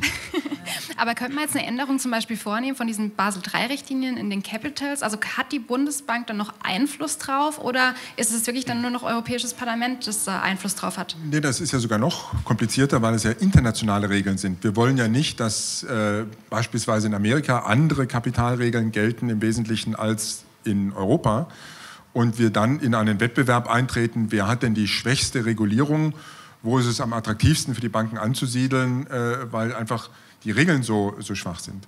Und, und deswegen sind die Regeln international abgestimmt und wir achten auch darauf, dass sie überall mit dem gleichen Geist implementiert werden. Aber wer macht die Regeln? Die Regeln machen wir gemeinsam, im Basel-Ausschuss zum Beispiel, der wurde gerade angesprochen oder äh, fast angesprochen. Äh, und da machen wir solche Regeln. Wer sitzt da drin? Naja, im Basel-Ausschuss sitzen unsere Bankenaufseher äh, drin. Und äh, die, also zum Beispiel in Deutschland ist es ja ein bisschen komplexer, da haben wir die BaFin, da haben wir die Bundesbank, da sitzen wir zusammen drin, die Kollegen aus den anderen Ländern auch und dann wird diskutiert und entschieden. Und dann gibt es noch einen Ausschuss, der da drüber ist, aber so im Großen und Ganzen. Gut, ich, ich kann nichts versprechen, aber wir versuchen es. Weiter geht's. Also mein Name ist Lea Kos, keine Stadt, aber Kos ist eine griechische Insel. Und ich würde mich auch nochmal fürs Inselthema Brexit interessieren. Und zwar ja. wüsste ich gern, wie bereitet sich die Bundesbank eigentlich auf den Brexit vor? Was für Probleme werden gesehen und was sind die Lösungspläne dafür? Ja, also es gibt, würde man sagen, wenn man grob unterscheiden möchte, zwei Gebiete. Das eine ist äh, das, wo wir als Bankenaufseher, als Wächter über die Finanzstabilität gefordert sind. Da müssen wir dafür sorgen, dass auch nach dem Brexit die Finanz, das Finanzsystem noch stabil ist. Also uns beispielsweise die Frage stellen, was ist denn mit Verträgen, äh, die, oder mit, mit, mit äh, Verträgen, die über zentrale Gegenparteien abgewickelt werden, die in Großbritannien sitzen? Haben die dann noch eine Betriebsgenehmigung, mal ganz einfach ausgedrückt? Ja? Und da gibt es Gesetz, gesetzgeberische Aktivitäten, die da stattgefunden haben für Übergangsregeln. also das verstehen wir ganz gut. Ja? Was ist denn das Risiko unserer Banken? Äh, vis-à-vis -vis, dem Vereinigten Königreich. Das ist auch eine Frage, die wir uns gestellt haben. Das ist das eine. Und da sind wir relativ weit vorangeschritten. Wir hatten ja auch schon ein bisschen Zeit, uns vorzubereiten. Das andere sind eher die realwirtschaftlichen Auswirkungen, die äh, kurzfristig sehr disruptiv sein können. Also wenn man dann denkt, können da an der Grenze überhaupt noch alle Lieferungen abgewickelt werden? Und dann in dem Zusammenhang die letzte Frage ist, was bedeutet das eigentlich langfristig? Auf welches Regime werden wir uns denn eigentlich einigen? Wie sieht das denn aus? Ist das WTO-Regeln? Also fällt man da zurück auf sozusagen das Mindestmaß? Oder schaffen wir es, Großbritannien an uns zu binden mit Handelsabkommen, das doch ein bisschen besser ist als, als die WTO, also ein bisschen, bisschen mehr Freihandel erlaubt als die WTO-Regeln? Das sind so die Fragen, die wir uns stellen. Die Lösungspläne, also zum Beispiel gesetzgeberische Aktivität, Anerkennung von, von zentralen Gegenparteien, Übergangsregime, dass wir dafür sorgen, dass die Verträge migrieren. Ja, das, das haben wir alles schon gemacht, dass wir mit den Banken sprechen äh, und sagen, was sind eure, eure Risiken in dem Fall? Bereitet euch auf einen, also letztlich war die Ansage, bereitet euch auf einen sogenannten ungeordneten Brexit vor, äh, rechnet mit dem Schlimmsten und dann könnt ihr eigentlich nur positiv überrascht werden. Da geht's weiter. Hallo Jens. Äh, also bitte so nah wie möglich an neben dir. Ähm, Oder? Ja, ist noch am Googeln. Du googelst noch. Oh. Genau. Du hast schon was? Kommst zum Schluss ran. Ja. Okay. Äh, mein Name ist Florian. Ähm, ich habe eine Frage und zwar gab es hier gerade eine Diskussion zum Thema ähm, Geld bewegt die Welt, auch das Klima mit Ihrer Kollegin. Ähm, mit der Sabine? Genau, der Sabine und noch äh, zwei anderen Kollegen, glaube ich. Ähm, thematisiert wurde vor allem die Rolle der, äh, der Bundesbank als ähm, Vermögensverwalter für Bund und Länder. Mhm. Und ähm, nicht so viel geredet wurde über ähm, das Thema grüne Geldpolitik. Mhm. Und ähm, was ich mich frage, ist, gibt es da eine klare Differenzierung ähm, aus Sicht der Bundesbank? Bei der Session davor ging es in erster Linie darum, was sind das für Kriterien, die im Prinzip äh, Environmental, Social und Governance ähm, abbilden. Und ähm, ja, kann man sich da schon auf europäischer Ebene oder ähm, internationaler Ebene auf bestimmte Kriterien einigen? Ähm, ist es aus Ihrer Sicht so, dass das ein Prozess ist? Aus deiner Sicht, genau. Aus deiner, sorry. Ja. Ja. Aus deiner Sicht so, dass es ein Prozess ist, der vorher ähm, abgeschlossen sein sollte, bevor man überhaupt äh, darüber nachdenkt, äh, welche Rolle grüne Geldpolitik spielen kann. Ähm, also wichtig ist. Oder ist es, ja? Ja, oder ist es so, dass man tatsächlich einfach ähm, trennt zwischen dem Mandat, das die Bundesbank ähm, zum Thema Geldpolitik trägt und dem, was es als äh, Vermögensverwalter tun kann? Ich lache jetzt gerade, weil deine Kollegin da hinten jemand anders erschlagen hat mit dem Mikrofon. Aber ähm, also ich glaube, um das einordnen zu können, ist wichtig, noch mal einen Schritt zurückzugehen ähm, und sich bewusst zu machen, dass Notenbanken eine Besonderheit sind in einem demokratischen System. Wir sind unabhängig. Und das heißt, du kannst mich nicht abwählen, du kannst mich auch nicht wählen, sondern, und die Politik kann mir keine Vorgaben machen. Und das war eben die Lehre aus den Erfahrungen in den 70ern und in den 80ern hat man die dann langsam äh, gezogen. Man hat die Notenbanken unabhängig gemacht. Das ist eigentlich in einer Demokratie ein Fremdkörper und auch nur dann zu rechtfertigen, wenn die Notenbanken ein sehr enges Mandat haben. Wenn wir jetzt anfangen zu sagen, naja, wir entscheiden jetzt darüber, welche Autobahn gebaut wird im Sinne eines Zusammenspiels zwischen Fiskalpolitik und Geldpolitik, bei dir zu Hause machen wir keine Straße, aber bei ihr machen wir eine zum Beispiel, oder wir machen jetzt mal Klimaschutz, ja, dann würdet ihr oder zumindest das Parlament irgendwann zu Recht sagen, ah, Moment mal, Vielleicht gefällt uns das gar nicht, was sie da machen. Oder dem einen gefällt es, dem anderen nicht. Aber den habe ich dafür gar nicht wählen können. Ja, und das führt dann zu einer Diskussion, dass man irgendwann die Unabhängigkeit der Notenbank in Frage stellt. Weil das Parlament muss ja seiner Rolle gerecht werden können. Wenn wir Aufgaben übernehmen, die eigentlich von der Regierung, vom Parlament erledigt werden müssen, dann wird unsere Unabhängigkeit in Frage gestellt und das auch vollkommen zu Recht. Und deswegen ist es so wichtig, zwischen diesen einzelnen Bereichen zu trennen. Und das hat ja die Sabine Maurer, denke ich, auch gemacht. Auf der einen Seite zu sagen, wir haben halt sehr viele Rollen. Und deswegen ist es auch wichtig, zwischen der Notenbank und der Geldpolitik zu trennen. Als Notenbank sind wir beispielsweise Portfolioverwalter für staatliche äh, ähm, für staatliche Stellen. Und da unterstützen wir die Pensionsfonds beispielsweise dabei, ihr Geld ich würde sagen, grün anzulegen. Ja, das ist eine Aufgabe. In der Finanzstabilität. Dürfen, dürfen die dann trotzdem weiter bei fossilen Sachen einlegen oder ist das verboten? Ja, oder sagt sind, ihr da Fänger weg? Wir sind da Mandatnehmer sozusagen. Wir beraten, wenn du so möchtest, unsere Mandatgeber, also die staatlichen Stellen, die Landesregierungen, wie sie ihr Geld, wenn sie das wollen, das ist ihre Entscheidung, aber wenn sie das wollen, kriegen sie von uns Rat, wie sie ihr Geld grüner anlegen können. Aber ist dein Rat unter anderem auch Finger weg von den fossilen Sachen? Wie gesagt, das ist deren Entscheidung. Ja, aber was, rät, was ratet ihr da? Wir raten denen nicht, kauft, kauft dieses oder jenes, sondern die entscheiden, wie sie ihr Geld anlegen. Ja, ja das ist klar, aber ist die Beratung fossil weg? Nein, Finger weg? Das ist, also wir sind Notenbanker. Ja, wir sind keine Klimaforscher oder keine Politiker. Das muss die Politik entscheiden. Also die Politiker werden gewählt dafür, dass sie solche Entscheidungen treffen. Das Geld, bitte? Wir beraten, wie sie ihre Ziele erreichen. Wir beraten Sie beispielsweise, wenn Sie sagen, wir hätten gerne ein grünes Portfolio, sagen wir Ihnen, schaut mal, wir helfen euch, so ein grünes Portfolio zu realisieren. Das ist unsere Aufgabe. Ja? Die Politik muss aber entscheiden, das sind ja immer Trade-offs. Aber wenn jetzt die Politik kommt und sagt, wir wollen auch fossil haben, dann sagst du kein Problem, hier das und das. Ne, wir machen was, wir sind dort, nochmal, wir sind dort, das ist nicht unsere Entscheidung. Ihr könnt die Politik, wenn euch das nicht gefällt, könnt ihr zur Politik gehen und sagen, es gefällt euch nicht, wir wählen euch nicht mehr. Wenn wir denen sagen, macht dieses und jenes, könnt ihr euch für die Bundesbank stellen, ihr werdet mich nicht los. Ja? Deswegen ist das Aufgabe der Politik. Denen habt ihr das Geld anvertraut, oder in dem Fall die Beamten ihre Pensionen. Die müssen sich dafür rechtfertigen, die müssen diese Entscheidung treffen, wir helfen ihnen dabei. Und das ist auch, sagen wir mal, das ist nicht ganz einfach, weil dieser Markt ja erst entsteht, das ist eine Aufgabe. Da, wo wir selbstverantwortlich, wenn du so möchtest, handeln, ist beispielsweise in der Bankenaufsicht oder der Finanzstabilität. Da müssen wir sicherstellen, dass Finanzstabilitätsrisiken auch angemessen Klimarisiken abbilden. Also wenn wir uns Portfolien als Aufseher der Banken anschauen, wie gehen die Banken denn mit Klimarisiken um? Und da geht es ja nicht nur um die Risiken des Klimawandels, da geht es auch um die Risiken, die durch diese Transition zu einer kohlenstoffärmeren Wirtschaft entstehen oder durch die politischen Maßnahmen, die damit verbunden sind. Und da achten wir darauf, dass die Banken Risiken möglichst adäquat berücksichtigen. Das ist das eine. Bei der Geldpolitik ist es so, die Geldpolitik wegen dieses engen Mandats hat ein Ziel, Preisstabilität. Ja, wenn wir jetzt anfangen, irgendwelche anderen Ziele einzuführen, dann könnten die zum Beispiel in den Widerspruch zueinander stehen.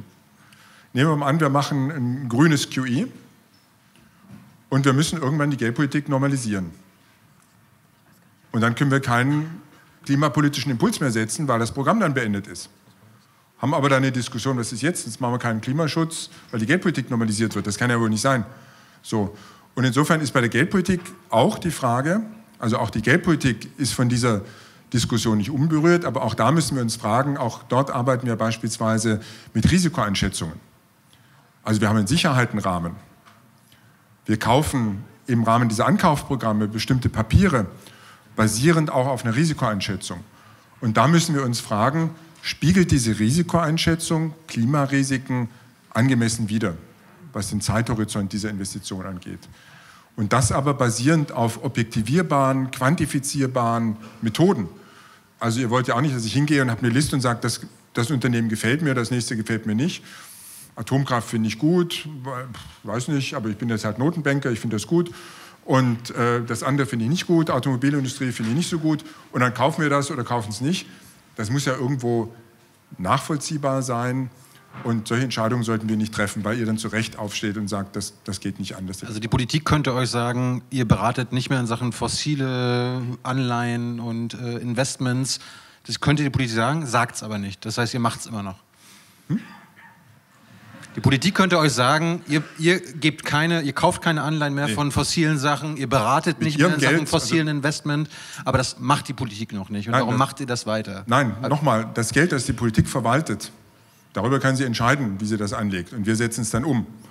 Die Geldpolitik ist ja was anderes. In der Geldpolitik hat die Politik nichts zu suchen, deswegen sind wir unabhängig. Ja gut, du bist von der Bundesregierung vorgeschlagen, ne? Ja, ja trotzdem sind wir unabhängig. Mhm. Also kann mich nicht entlassen. Äh, deswegen, das ist ja der Kern, also das, das, Grundproblem ist doch in der, in der Geldpolitik, dass die Politik oft andere Interessen hat als die Geldpolitik, vielleicht auch einen anderen Zeithorizont, der vielleicht stärker von Wahlzyklen beeinflusst ist. Und deswegen hat man gesagt, wir wollen die Geldpolitik dieser Einflussnahme entziehen. Und das geht aber nur, wenn ich ein klares Mandat gebe und dieses Mandat auch eng fasse. Vielleicht noch ganz kurz. Ähm Nein, wir müssen, wir, wir, wir, müssen leider weitermachen, sonst kommen. Es, fehlen noch so viele. Kannst du es da hinten weitergeben? Da gibt es ein paar. Äh, wir waren, glaube ich, da in der letzten Reihe. Und Wie ist denn das mit Oliver? Kommt noch, der kommt zum Schluss. Der kommt zum Schluss? Das ist die Überraschung zum Schluss. Hört man mich? Ja, hi, äh, Jens, ich bin Patrick. Da hinten. Yeah. Da, da, da. Hi. Da ah, ja. Ganz, ganz Im, weit weg. Im Dunkeln. Ähm, ja, geht so. Ähm, meine Frage ist, also ich kann mich noch erinnern, ich war letztes Mal auch dabei, du warst mit Herrn Draghis Entscheidung, also teilweise nicht ganz zufrieden, also war es nicht ganz so gut, auf ihn zu sprechen. Meine Frage ist, wie gefällt dir denn Frau Lagarde, vor allem in Anbetrachtung des doch, äh, na Moment, Moment, ich bin noch nicht fertig, also äh, in Anbetracht der doch recht kriminellen Vergangenheit, wenn wir es mal so darstellen möchten. Bitte kurz. Also, ja, zu Ende. Ja, ähm, ich bin fertig. Also zunächst mal hat sie ja gerade angefangen. Ja, und ich denke mal, man sollte sich ein bisschen Zeit geben um dann auch sich ein Urteil zu bilden, was sie ja schon gemacht hat. Das siehst du ja auf diesem hübschen Foto, was Thilo mitgebracht hat.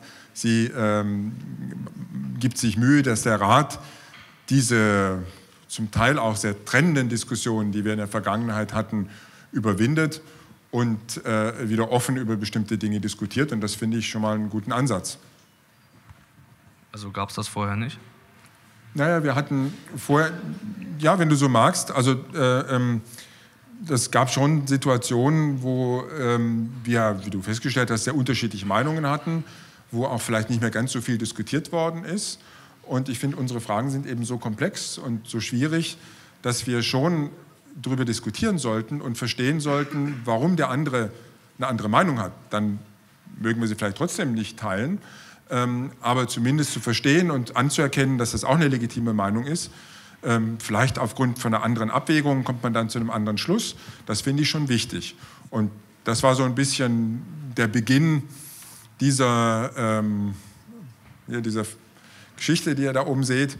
Und das finde ich jetzt grundsätzlich mal nicht schlecht. Und ansonsten, äh, ähm, nächstes Mal laden wir Christine Lagarde ein und dann. Uh, können wir persönlich ja. Fragen stellen. Danke. Findest du es eigentlich problematisch, dass Frau Lagarde vor drei Jahren vom französischen Gerichtshof für in einem Strafprozess wegen fahrlässigen Umgangs mit öffentlichen Geldern verurteilt wurde? Also, also angenommen, du würdest verurteilt werden dafür, könntest du noch EZB-Chef werden? Das entscheiden die, die sozusagen die Ernennungen. Äh, Aber findest du es problematisch, dass jetzt eine EZB-Chefin. problematisch, irgendwelche Bewertungen von Kollegen vorzunehmen in der Öffentlichkeit. Gut. Ich habe es gefragt. Da hinten geht es weiter. Hallo, ich bin Johann. Ähm, ich würde gerne wissen, welche Fehler du in den letzten zehn Jahren gemacht hast. Es war ja uh. relativ viel los und du hast auch viele Prognosen abgegeben. Wo hast du dich vielleicht geirrt oder welche Fehler hast du gemacht? Also der erste Fehler, ich war wahrscheinlich zu wenig bei meinen Kindern zu Hause. Das war vermutlich der wichtigste. Und beruflich? Ja, ich komme komm schon drauf, keine, keine Angst. Ich glaube, was wir unter gemeinschaftlich unterschätzt haben, äh, aber jetzt nicht wir Notenbanker, sondern wir Ökonomen, sind die Auswirkungen der Globalisierung, beziehungsweise weniger, dass wir jetzt die Auswirkungen nicht ganz durchstiegen haben, sondern das, was wir im Moment sehen, dieser äh, Hang zu mehr Protektionismus, diese Stimmung, dass sich man so ein bisschen auf das Nationale besinnt, das hängt, glaube ich, auch damit zusammen, dass wir Ökonomen immer nur auf das Aggregat schauen und sagen, im Aggregat ist Freihandel eine gute Sache, aber die Verteilungseffekte zu wenig beachtet haben. Ähm, und dann natürlich schon klar ist, wenn Verlierer äh, entstehen, wenn Gewinner entstehen, dass das eine politische Dynamik entwickeln kann, mit der wir jetzt auch zu kämpfen haben. Und das war sicherlich, ein, ich würde mal sagen, ein gemeinschaftliches Versagen auch der Ökonomen. Also würdest du sagen, dass wir eher weg von Pareto-Effizienz gehen sollten und ähm, also Ökonomie an, neu definieren sollten? Weil in, in Bachelor- und Master-Ökonomie wird meistens ähm, ähm, Pareto-Effizienz als das Nonplusultra gelehrt. Na, ich glaube, dass wir, ich würde es einfacher formulieren in meinen Worten und sagen, ich glaube, dass wir Verteilungswirkungen nicht komplett ausblenden können, was jetzt nicht heißt, dass die Geldpolitik dafür zuständig ist, aber dass wir uns mehr Gedanken darüber machen müssen, wie wir diejenigen mitnehmen, die beispielsweise von bestimmten Entwicklungen, Globalisierung, technischer Fortschritt nicht profitieren oder dadurch sogar verlieren. Da bin ich dann wieder bei dir, nämlich bei Bildung. Das ist sicherlich der konstruktive, konstruktivste Ansatz, den man da politisch äh, entwickeln kann. Aber das wird auch nicht in jedem Fall helfen. Am Ende ist auch die Frage, wie geht eine Gesellschaft mit Ungleichheit um? Also das Steuer- und Transfersystem spielt eine Rolle. Das Deutsche ist ja relativ entwickelt. Ähm, solche Fragen. Magst du es weitergeben und wir machen Jens hier vorne weiter? Äh, ja, ähm, ich bin der Christian. Ähm, wir hatten vorhin die Frage, ähm, warum die Notenbank nicht direkt in den Staat investieren sollte, ähm, damit der Staat dann eben ähm, äh, Projekte, bestimm, bestimmte Projekte unterstützt. Jetzt ist es ja so, ähm, dass man ja nicht ähm, auf Nachfrage, also wenn dass der Staat kommt und äh, wir brauchen Geld und Sie dann das Geld überweisen, sondern dass wenn Sie Geld in den Markt investieren wollen, um die Inflation anzukurbeln, dies dann dem Staat überlassen, damit das äh, Geld nicht, das, damit das Geld nicht eben im Finanzsystem äh, bleibt, sondern in die Realwirtschaft kommt und dann auch nach moralischen Standards äh, verteilt werden kann. Dass man das eben so macht, weil ich glaube, dadurch ist dann durchaus noch die, die Neutralität gegeben. Naja, du hast dann relativ schnell eine Diskussion beispielsweise darüber, wenn wir die Geldpolitik straffen, dass der Staat plötzlich kein Geld mehr hat. Dann werden die Schulen nicht finanziert, die Universitäten nicht finanziert, weil sich der Staat an diesen warmen Regen gewöhnt hat, den die Notenbank ausschüttet. Ähm, und dann kommt die Notenbank unter Druck, eine Geldpolitik fortzusetzen, die eigentlich mit Blick auf die Preise gar nicht angemessen ist.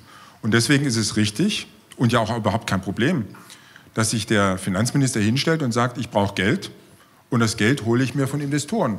Ihr habt die Möglichkeit zu investieren, indem ihr Staatsanleihen kauft und ihr habt auch die Möglichkeit zu differenzieren, wo ihr investieren wollt.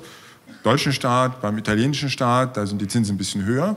Und dieser, und dieser Mechanismus, dass nämlich ein Staat mit einer hohen Verschuldung, mit einer etwas unsolideren Finanzpolitik auch höhere Zinsen zahlt, der ist wichtig zur Disziplinierung.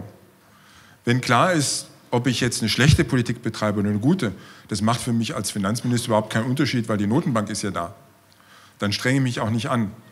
Wenn ich aber meinen Fall erklären muss, wenn ich sozusagen klar machen muss, dass meine, mein Haushalt nachhaltig ist, dann muss ich mich auch ganz anders ein, anstrengen und das wirkt durchaus disziplinierend, wie die Haushaltsregeln eigentlich auch. Wir haben ja in der Vergangenheit immer festgestellt, dass eigentlich so ein Staat eher die Tendenz hat, zu viel Geld auszugeben.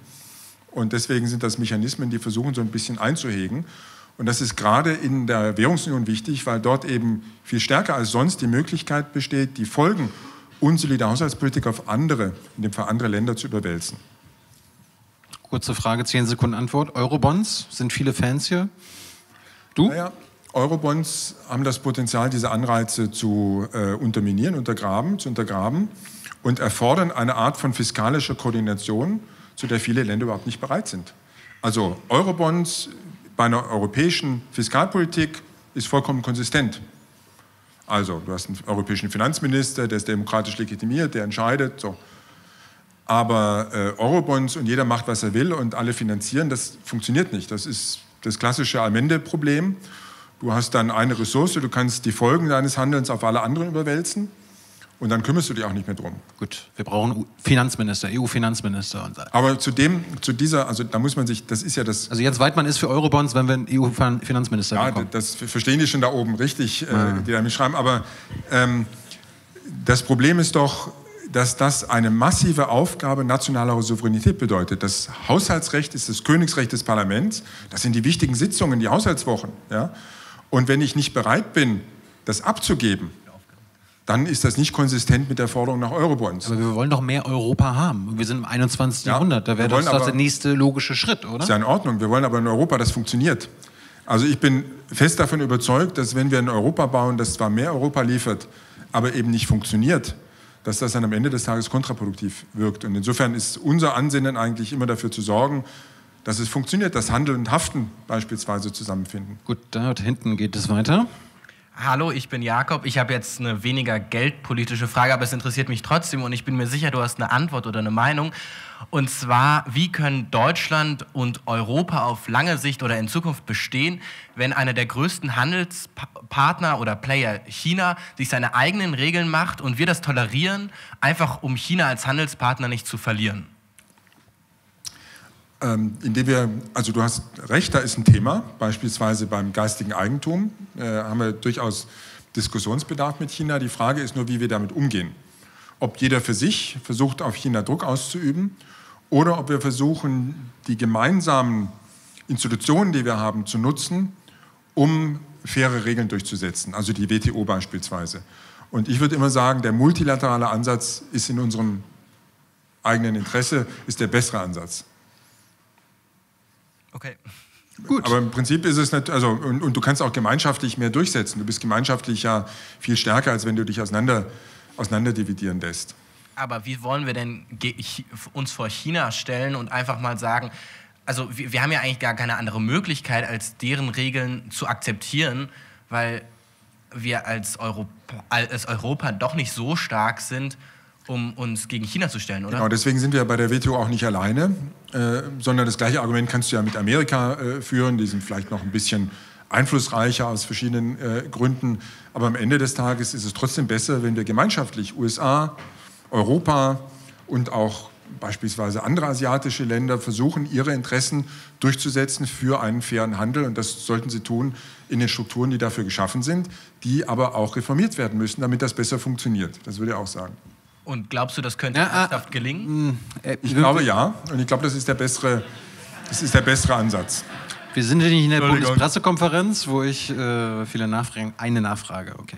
Guck mal, sind nicht nur junge Leute hier, wir haben auch etwas ältere. Der hast du doch mitgebracht. Ja, ja, der, der war neugierig.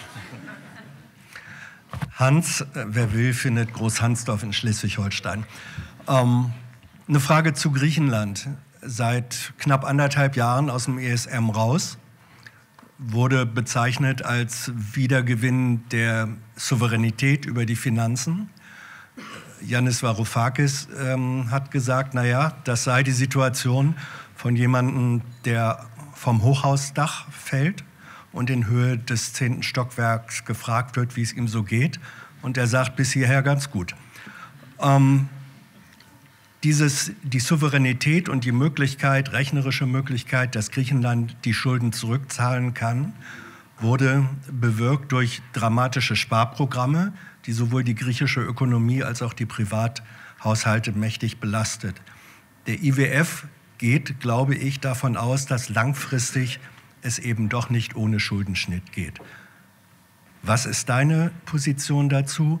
Braucht am Ende, das kann sein 2032 folgende, braucht Griechenland einen Schuldenschnitt? Wenn nein, wie soll es dann gehen? Wenn ja, ist 2032 der richtige Zeitpunkt?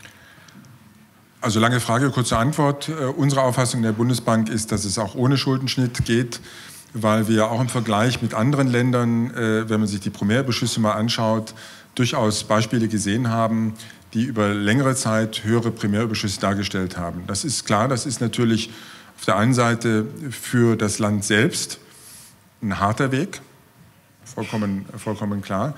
Auf der anderen Seite äh, sollte man sich auch nicht einreden, dass ein Schuldenschnitt ein leichter Weg ist, weil der dann dafür, dazu führt, dass du natürlich als ähm, Gläubiger an Reputation verlierst und in der Zukunft Schwierigkeit haben wirst, wieder an Geld zu kommen. Also insofern ist es eine Abwägungsfrage. Wir meinen, es geht und dass es der sinnvollere Weg ist. Nachfrage? Nachfrage. Ähm, Darf jetzt aber drei oder wie? Nö. eine. eine, nach, eine Nachfragen haben alle. Eine Nachfrage. Äh, dennoch ist es ja Fakt, dass die griechische Ökonomie, äh, also Griechenland hat immer noch den höchsten Schuldenstand in Europa. Ähm, und die Ökonomie ist eingeschnürt, liegt am Boden. Wie soll sie handlungsfähig werden? Und was macht ihr, wenn sich herausstellt, ähm, dass es eben doch nicht geht ohne Schuldenschnitt? Die Annahmen, wo ihr sagt, die können das zurückzahlen, bezeichnet der IWF als sehr ambitioniert. Das heißt immer wenig realistisch. Ja, aber gut, der IWF ist ja nicht der Einzige, der was von Wirtschaft versteht. Und am Ende ist eben die Frage. Ähm, das ist Lagards alter Laden. Hm? Ja, das heißt ja nur nichts. Also, aber wenn die nichts verstehen würden, würde sie ja nicht EZB-Chefin jetzt Ihre sein, neue oder? Institution hat eine andere Auffassung äh, und äh, wir auch. Äh, und ähm, wie war jetzt die Frage eigentlich noch? Die Frage war, äh, was, wenn sich die ambitionierten Wachstumsprognosen der griechischen Wirtschaft doch als unrealistisch herausstellen? Ja, äh, vielleicht noch als Ergänzung, ähm, die Schulden, die Griechenland hat, sind ja stark konzessionär inzwischen. Ja? Also das kann man ja auch vom Schuldenstand nicht vergleichen mit einem anderen Land, das sich am Markt finanzieren muss. Das meiste ist der äh, Marktfinanzierung entzogen und zu Konditionen, die, die sehr, sehr günstig äh, sind, sodass die Last die laufend zu tragen ist, dann auch nicht so hoch ist, wie es im anderen Fall wäre. Jens, wie ist deine Stimme? Hältst du eine Viertelstunde durch? Ja, noch ein paar Fragen machen wir, oder? sonst äh, ist sie irgendwann weg. Aber ja. Viertelstunde. Ja. Ich habe eine Frage ähm, zum Fintech-Markt, ähm, was du allgemein darüber denkst. Also ob du es positiv siehst, dass, äh, sage ich jetzt mal, das Manko der Digitalisierung, Automatisierung der Banken somit äh, gefördert, also halt reduziert wird. Was denkst du darüber? Also im Prinzip ist Wettbewerb immer was Gutes. Also wenn jemand eine gute Idee hat und mit Innovationen an den Markt geht, ist das doch per se nichts Schlechtes. Klar ist, dass das natürlich am Ende des Tages für die Banken auch neue Wettbewerber bedeuten kann und dass dieser Wettbewerb nicht darauf beruhen darf, dass einfach Banken strengeren Regeln unterliegen als Fintechs. Also gleiches Risiko, gleiche Regulierung ist da ganz entscheidend. Im Übrigen glaube ich, dass für die Banken am Ende des Tages die sogenannten GAFAs, also die großen Big Techs, viel ähm, bedeutendere Wettbewerber sind und auch auf die Geschäftsmodelle gravierendere Auswirkungen haben können als Fintechs. Weil bei Fintechs ist es ja oft so, dass wenn die wirklich eine sehr gute Idee haben, Banken die einfach kaufen. Die sind ja eher klein. Das kann man noch darstellen vom Volumen. Und das ist oft so, dass sich die Innovationen dann auch sozusagen ins Haus geholt äh, werden. Zufrieden? Ja. Ja. Gut, da hinten geht es weiter. Guck mal. Ja. Rappe. Ich bin der Martin. Ähm, ich habe mal gelernt, dass damit es Sparer gibt, es auch Schuldner geben muss. Jetzt wissen wir, dass die deutschen Haushalte Sparer sind, die Unternehmen wohl auch. Der Staat, haben wir gehört, hat 18 Milliarden Überschuss gemacht im letzten halben Jahr. Der ist also auch Sparer und du meintest schon, du findest das auch okay. Und die ausländischen Staaten sollen bitte nicht naja, mehr Schulden machen. Ganz so, also auf seine Frage habe ich ja so nicht geantwortet. Also auch okay habe ich nicht gesagt. gesagt er hat dich so verstanden. Ja, ja. Aber jetzt kommt die Frage. Frage ist, äh, wer soll dann die Schulden machen, wenn alle nur sparen im Moment? Naja, also du hast ja jetzt eine sehr nationalökonomische Betrachtung. Du nimmst halt an, wir sind ein Land und in diesem Land gibt es halt die verschiedenen Agenten und das muss sich ausgleichen. Die Lösung deiner Frage oder deines Problems ist im Grunde der internationale Kapitalverkehr. Ähm, und da haben wir jetzt einen sehr hohen Leistungsbilanz Überschuss, also einen sehr hohen Kapitalexport, der sicherlich in der Größenordnung auch nicht nachhaltig ist. Aber vor dem Hintergrund der Alterung unserer Bevölkerung ist durchaus zu erwarten, dass Deutschland Kapital exportiert. Also, wenn du eine Bevölkerung hast, die sehr rasch altert, dann versuchst du natürlich für dein Alter vorzusorgen, Geld anzulegen und das machst du dann auch im Ausland. Und das ist das, was auch passiert. Da passiert noch vieles andere. Äh, deswegen ist der Überschuss auch sehr hoch und der Kapitalexport sehr groß, äh, aber eben auch, und das ist ja im Prinzip auch nichts Schlechtes, weil Kapitalexport heißt ja, dass ich woanders investiere. Das heißt, dass Fabriken in Amerika gebaut werden beispielsweise, dort auch Arbeitsplätze äh, entstehen. Und insofern ist das die Kehrseite der Leistungsbilanzdiskussion. Also ich kann nicht gleichzeitig den Leistungsbilanzüberschuss Deutschlands kritisieren, aber die Investitionen Deutschlands im Ausland, die dann das Gegenstück dazu sind, die bejubeln. Wäre es eigentlich rechtlich möglich, deutschen Investoren, ob nun auf Konzernebene, Bankenebene, privater Ebene, zu verbieten, zum Beispiel fossile Sachen zu kaufen, zu investieren? Könnten wir, wäre das möglich? Also jetzt bin ich kein Jurist. Theoretisch äh, ist sehr vieles möglich. Das wäre natürlich schon ein sehr starker Eingriff in deine Eigentumsrechte. Ja. Also du hast ja sure. Eigentum und du schränkst dann die Verwendungsmöglichkeit dieses Eigentums sehr stark ein. Das Im Wohle der Menschheit. Müssen die Juristen äh, bewerten. Die Frage ist, ob das wirklich gut ist, wenn der Staat äh, sozusagen so stark eingreift oder ob es nicht besser ist, der Staat setzt Anreize, der Staat schafft den Rahmen, damit das funktionieren kann, schafft Regulierung, äh, anstatt dir genau vorzuschreiben, was du zu tun hast. Ja, aber angenommen, ich habe jetzt die Haltung, wir haben dafür keine Zeit mehr für diese Anreize und hoffen, dass der Markt das regelt. Wäre das staatlich möglich auf EU-Ebene? Na, möglich ist ganz viel. Du endest dann wahrscheinlich mit einem Staat, der dir sehr viele Dinge vorschreibt, weil es gibt ja auch andere wichtige Ziele, die man gesellschaftlich verfolgen kann. Ja? Aber es, ähm, geht jetzt also, um den Klimaschutz und dass wir rauskommen aus den fossilen Brennstoffen. Ja, ja, aber das gilt ja auch für andere, für andere Themen auch. Also mein Punkt ist, das ist schon eine Abwägung, die man als Politik auch treffen muss. Wie stark ist eigentlich der Eingriff? Wie tief ist der Eingriff? Wie stark beschränke ich euch in euren Möglichkeiten versus das politische Ziel, das man damit verfolgt. Und so ein Eingriff hätte schon eine sehr, eine sehr wäre schon ein sehr tiefer, tiefgehender Eingriff, ähm, der nicht ganz einfach zu rechtfertigen wäre. Und ich glaube, es geht auch, es geht auch anders. Deswegen sprechen wir über Green Finance. Deswegen sprechen wir auch über äh, ähm, Möglichkeiten, das Risiko besser. Ich wollte wissen, ob das möglich ist, damit man das fordern kann. Also Leute sich das irgendwie also es gibt politisch auf die Fahnen schreiben können. Vielleicht sind ja Leute von Fridays for Future hier, es gibt, die dann das fordern auf ihren Plakaten. Staaten, die machen sehr viel. Herr Weidmann hat gesagt, wir können das fordern. Also fordern kann man natürlich sehr viel. Fordern ist also können wir fordern. Immer in Ordnung. Ob es dann sinnvoll, ob es rechtlich zulässig ist, ist eine zweite Frage. Ob es sinnvoll ist, würde ich auch bezweifeln. Also insofern beruft euch nicht auf, auf mich, aber fordern könnt ihr viel. Gut, wir sind in der, wir machen jetzt mal eine Schlussrunde. Ich, okay. Und zwar würdest du mir zustimmen, wenn ich behaupte, dass die Effekte der Geldpolitik der EZB, sagen wir mal so, unerwartet gering ausfallen, weil die Geldmenge unter anderem beim Konsumenten gar nicht ankommt und wäre Helikoptergeld hier eine Alternative oder ein Lösungsansatz? Ähm, also die Effekte der Geldpolitik äh, messen wir durchaus.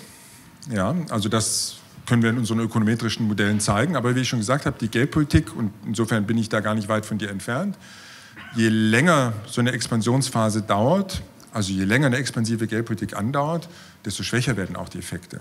Im Grunde versuchen wir eins, dich dazu zu bringen, dass du Zukunftskonsum vorziehst. Also wir setzen den Preis, den relativen Preis für Zukunftskonsum. Das ist ja nichts anderes als der Zins, wenn du so willst. Wenn du dein Geld zur Seite legst, kriegst du halt den Zins. Wenn du heute konsumierst, kriegst du keinen Zins und hast das Produkt heute.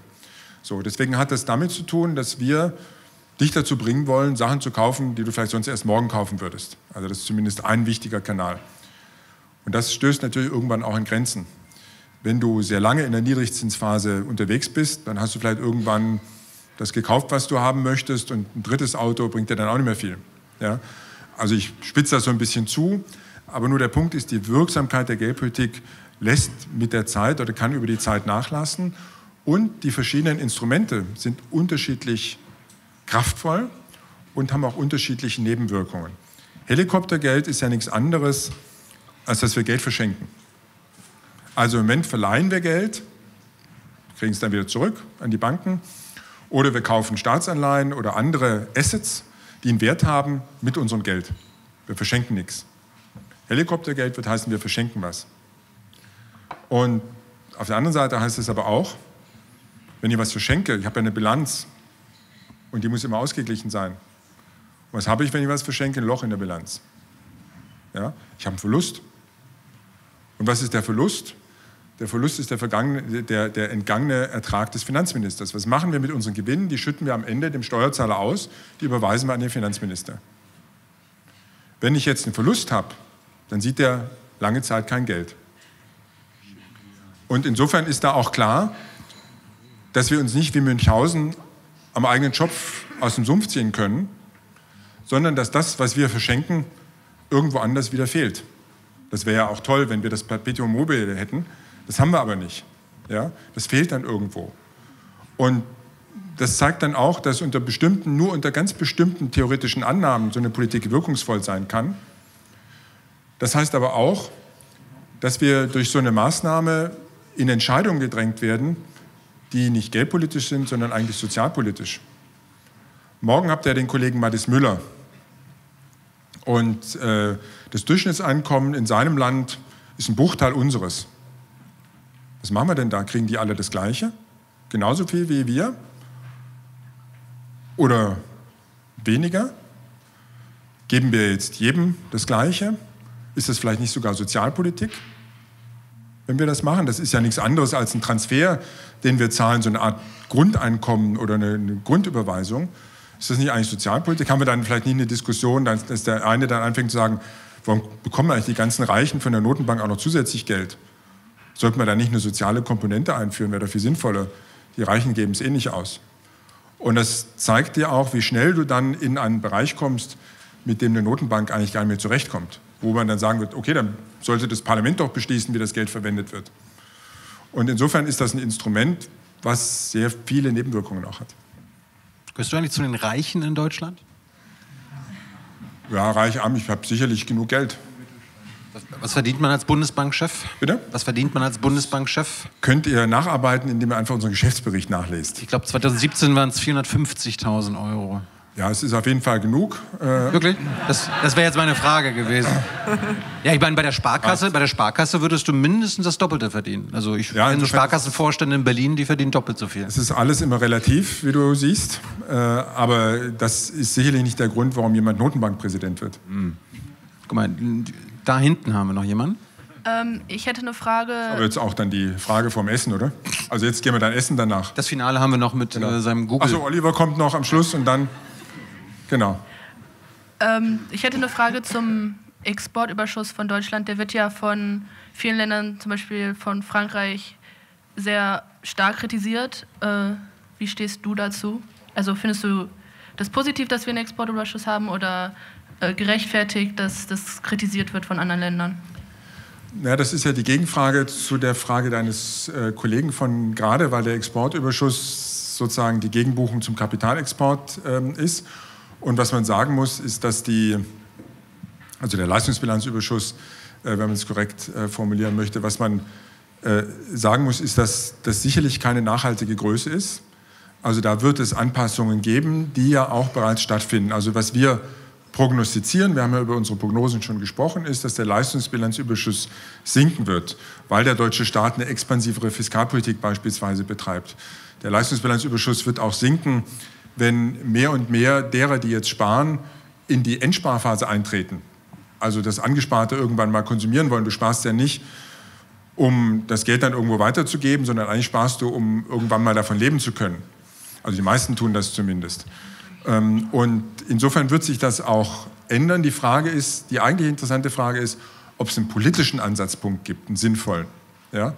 Und da würde ich sagen, Investitionen, wenn man die durchführt, das hat sicherlich auch einen ähnlichen Effekt, weil das ist nachfragekreierend im Inland, könnte insofern auch die Leistungsbilanz, also Investitionen, die sinnvoll sind, die einen gesellschaftlichen Ertrag haben, nicht einfach irgendwas, damit der Leistungsbilanzüberschuss sinkt. Das macht sicherlich äh, keinen keinen Sinn. Das könnte dazu beitragen. Ähm, aber andere politische Maßnahmen sind eher schwierig, weil das ist ja das Ergebnis vieler individueller wirtschaftlicher Entscheidungen. Keiner steuert ja den Leistungsbilanzüberschuss sondern das sind Unternehmen, die Produkte herstellen, die die bepreisen und andere im Ausland, die dann die Produkte nachfragen beispielsweise. Ja. Insofern ist es schwierig, da politisch jetzt mit einem Hebel anzusetzen.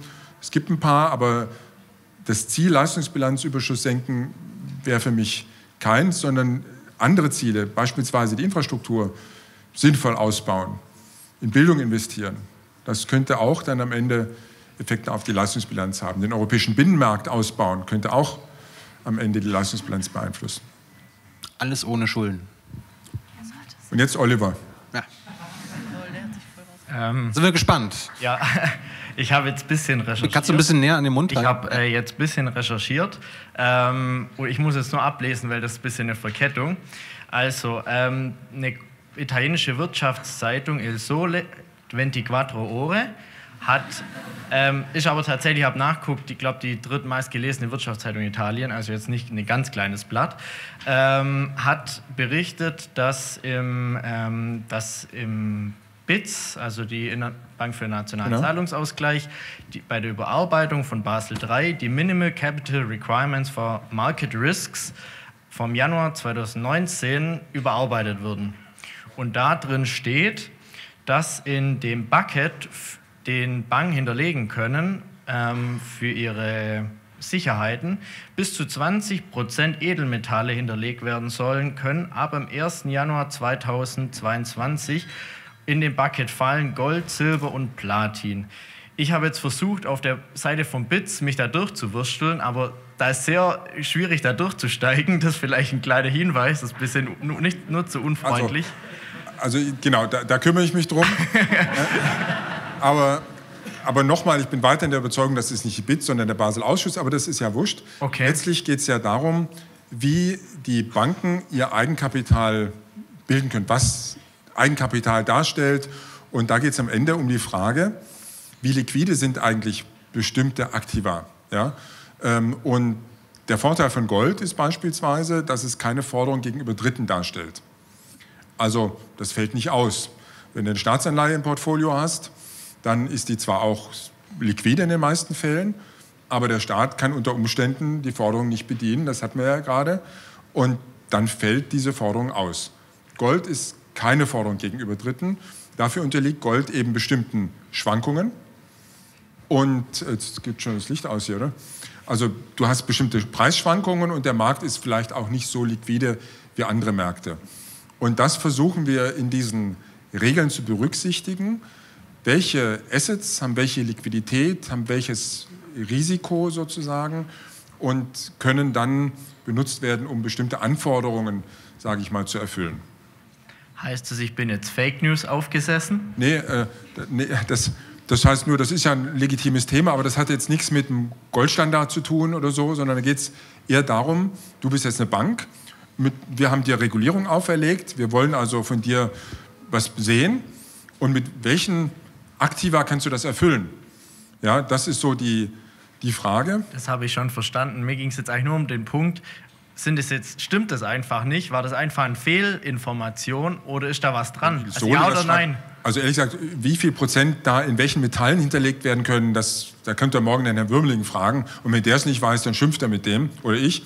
Okay. Äh, aber ähm, die Grundfrage ist ja eine, eine, legitime, das ist ja auch wurscht eigentlich. Die, die Grundfrage ist, ähm, das kann man ja nachlesen zur Not. Vielleicht nicht bei Ilsole, sondern vielleicht dann doch beim Basel Ausschuss oder bei, bei der BITS. Aber die Grundfrage ist, wie erfülle ich diese Forderungen? Und da müssen also der Aktionär hat da auch darüber berichtet, aber das war halt nicht die Primärquelle. Aber ist jetzt okay. Ich habe verstanden, wahrscheinlich waren es Fake News. Nee, nee. Das habe ich ja gar nicht gesagt. Ich habe nur gesagt, also die, die Frage, ich weiß jetzt nicht, worauf du hinaus möchtest mit deiner Frage. Die, der Punkt ist einfach, du kannst mit bestimmten Aktiva bestimmte Anforderungen erfüllen. So. Okay. Das ist jetzt eine sehr technische Frage. Zeit, mit Blick auf die Zeit. Äh, also ich weiß nicht. Also meine Anfangsfrage war ja, was ihr euch dabei gedacht habt. Aber weil ja der Fakt ja nicht in, in der Luft steht, naja. weiß ich ja nicht. Wir wollen, dass die Banken sicher aufgestellt sind. Und das heißt, sie müssen ihre Aktiva in bestimmten Fällen zu Geld machen können beispielsweise. Ja? Oder verkaufen können. Und deswegen schauen wir uns an, wie wahrscheinlich ist das denn im Krisenfall? Also wenn du auf einem Koffer voll Bargeld sitzt, hast du vermutlich kein Problem, das wirst du immer los. Wenn du jetzt auf einer Kiste von Gold sitzt, kann es durchaus sein, dass der Preis einbricht. Ja? Wenn du Staatsanleihen hast, kann es durchaus sein, dass der Staat sagt, oh, in so einer Situation kann ich selber nicht zahlen, die Anleihe ist nichts mehr wert. Und deswegen müssen wir berücksichtigen, wie ist denn die Liquidität bestimmter Aktiva, wie schnell kann man die sozusagen umsetzen, verkaufen und was ist dann das, was man da erwarten kann als Ertrag. Das ist so die, das ist eine, eigentlich eine sehr technische, eine technische Frage. Das hat jetzt mit der Faszination Gold nicht viel zu tun. Ja. Auf wie viele Kisten Gold sitzt denn Deutschland? Also wir sitzen auf ganz vielen Kisten. Wie viel, weißt du so, wie viele Tonnen? Wir haben für, also bei der letzten Bilanz waren es über, also im Wert umgerechnet über 100 Milliarden so ungefähr, ja. Ist das viel im Vergleich ja, zu anderen? Ist, das ist viel. Äh, wir sind einer der größten Goldhalter. Wo kommt das her? Äh, naja, das sind letztlich auch Außenhandelsüberschüsse, wenn man so möchte, die wir in der Vergangenheit hatten, die dann auch dazu geführt haben, dass Forderungen aufgebaut äh, worden sind. Die lagern zum Teil bei uns in Frankfurt, zum Teil aber auch in anderen äh, Lagerstätten. Da haben wir ja vor kurzem ein neues Lagerstättenkonzept ähm, vorgestellt. Und die Idee beim Gold ist eigentlich in den Notenbankbilanzen, ist Vertrauen zu schaffen in die Werthaltigkeit der Notenbankbilanz. Wir hatten es ja gerade mit deiner Frage, jetzt hörst du nicht zu, aber wir hatten es ganz konzentriert. Wir hatten es ja gerade mit deiner Frage zum Helikoptergeld. Ja, Löcher in der Bilanz, Werthaltigkeit der Bilanz. Und das Gold, da es eben keine Forderung gegenüber Dritten ist und nicht ausfallen kann, dient vielen als Vertrauensanker. Also abgesehen von der Faszination, die so ein Goldbarren ausüben kann, wenn man ihn mal in der Hand hat, ist klar, das fällt einfach nicht aus. Auf der anderen Seite ist das natürlich ein Aktivposten, der Wertschwankungen unterliegt. Die Goldpreise fluktuieren. Und das ist natürlich auch ähm, ein Vermögensgegenstand, der keinen Ertrag abwirft. Also keine Verzinsung abwirft in dem Sinne. Und das ist eine Abwägung, die wir Notenbanken dann treffen müssen. Was brauchen wir da, um das Vertrauen in die Bilanz zu erhalten, in die Werthaltigkeit der Bilanz? Und äh, ähm, macht das Sinn oder nicht? Wie oft hältst du den Goldbarren so pro Woche in der Hand? Naja, die sind ja so gut gesichert, dass selbst ich da nicht drankomme. Oh. Aber es ist faszinierend. Wir haben ja bei unseren Tagen der offenen Tür immer auch einen Goldbarren zum Anfassen. Uh. Unsere Besucher dürfen das. Das reicht ja, der ist ja so 400.000 Euro wert oder so rund. Ähm, und die Faszination, die so ein Barren auf die Besucher ausübt, ist schon beeindruckend. Also das ist ja ein relativ kleines Stück Metall, so wie eine Milchtüte ungefähr. Und von einer Dichte, also die Schwere des Metalls ist nochmal über der von Blei. Das heißt, du unterschätzt erstmal das Gewicht dieses Goldbarrens und auf der anderen Seite fördert das natürlich alle möglichen Fantasien, wenn du so ein Ding, was du in der Handtasche verschwinden lassen könntest, in der Hand hast und kannst davon ein Haus kaufen, vielleicht nicht mehr im Rhein-Main-Gebiet, aber Oder vielleicht Bundesbankchef bezahlen. Na gut. Äh, letztes Mal hattest du Bücher ähm, empfohlen. Ich soll diesmal wieder fragen und äh, die Frage stellen, soll man lieber Hayek lesen oder Karl Marx? Am besten ihr lest beide und bildet euch eine eigene kritische Meinung dazu. Wen präferierst du? Also ich habe mehr Hayek gelesen als Karl Marx, aber wir haben im Studium auch Karl Marx gelesen. Äh, also wir haben auch uns mit Marx auseinandergesetzt. Das gehört da auch dazu, dass man, also das im Rahmen der Wirtschaftsgeschichte war das.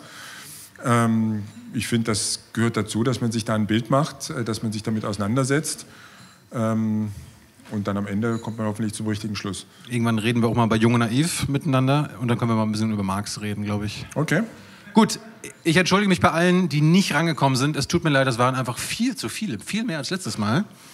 Äh, vielleicht machen wir das irgendwann nochmal und dann ja. kommen die anderen ran. Äh, ich bedanke mich bei euch, bei Jens Weidmann, der eigentlich nur eine Stunde machen wollte, weil, weil seine Stimme so im Arsch ist. Aber er hat 19 Minuten durchgehalten. Danke, Jens Weidmann. Danke euch. Danke euch.